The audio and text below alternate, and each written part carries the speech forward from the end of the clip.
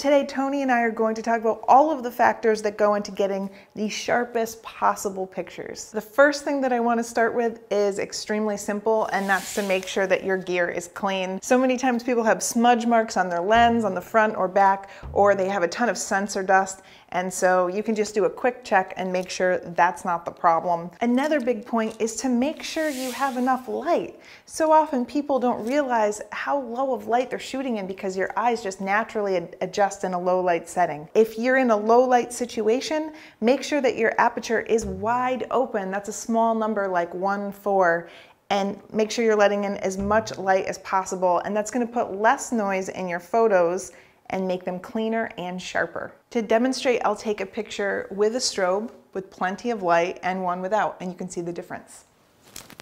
So you can see that the photo with less light uses a higher ISO and as a result is getting more noise and doesn't look quite as sharp. So adding light will make your photo sharper. But it's not just how much light you use, it's the quality of the light that you use. So nice hard light like a strobe like this or like a bright sunny day will give you extra sharp looking photos. And that's great for wildlife or a portrait of someone with perfect skin, but sometimes it's nice to have that soft light from an overcast day. So be mindful of how much light you have and the quality of the light. I wanna talk about shutter speed next because it's tied into light and this is where things get a little tricky. If you don't have enough light, you open up your aperture to try to let in as much as possible and then you try to make your shutter speed longer to let in more light. And that can be fine if nothing's moving, but a problem that I always run into is I start to get camera shake. If my shutter speed is too long and I start moving or my subject starts moving, then you're eliminating all that sharpness of the light because you're getting too much motion in your photo. You're going to have to figure out what shutter speed works best.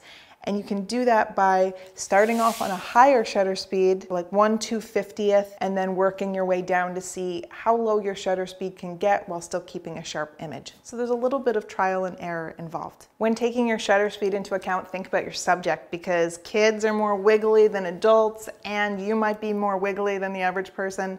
I know that I tend to move a lot and I need to crank up my shutter speed more than Tony, who is apparently like a statue or something. I don't know how he does it. I'm gonna have him wiggle so we can demonstrate.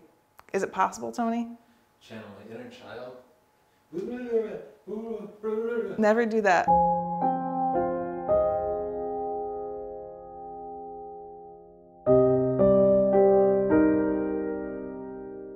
Damn, you're so wiggly. Calm down. This might be when you bribe the child.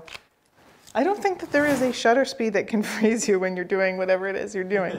We've talked about the amount of your light, the quality of your light, your shutter speed, and now I want to talk about aperture because it seems like everyone just wants the largest aperture possible. It can kind of screw up your portraits and it can make them seem out of focus. It's because sometimes the depth of field is razor thin. You can have just the eyelashes in focus or your model can be turned to the side and you get your back eye but not your front eye Often people try to use a really low aperture number for a group photo and people in the front are in focus and people in the back are not. With group photos, you can only ever have one person in focus, so have rear rows lean in towards the focal plane.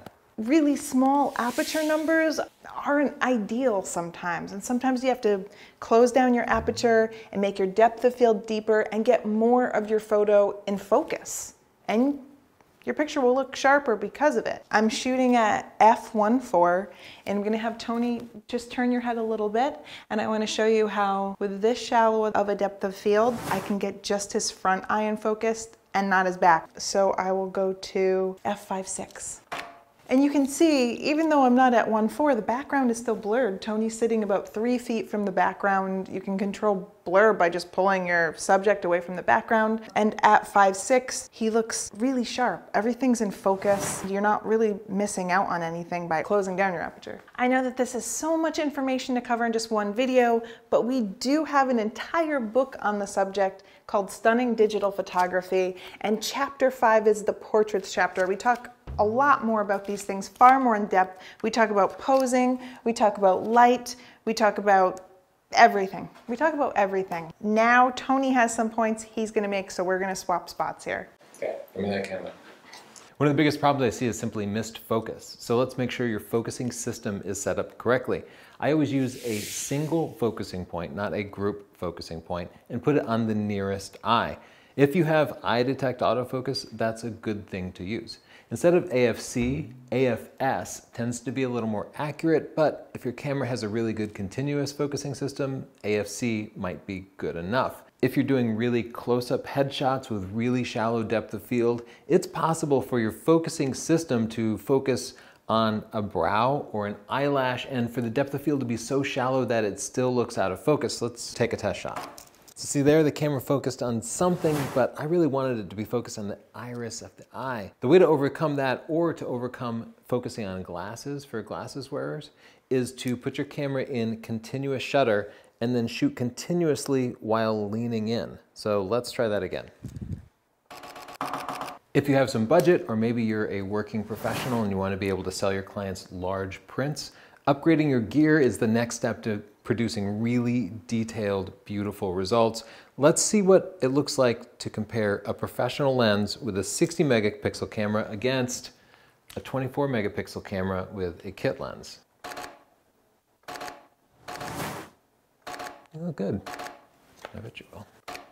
Hey, you made it to the end of the video. I guess you're pretty serious. Why not check out our professional portrait photography training. This will teach you how to actually make money with your photography. We'll show you the business and technique of portrait photography. And if you're not happy with it, we'll just give you your money back. Don't forget to subscribe for tons more free videos and to check out our book, Stunning Digital Photography. It's only 10 bucks. Thanks.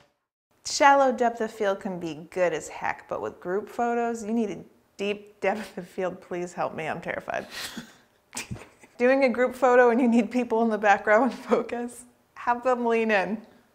Oh, I'm so scared. I'm gonna do that sequence again, Wiggle. I hate it so much. I don't like it at all.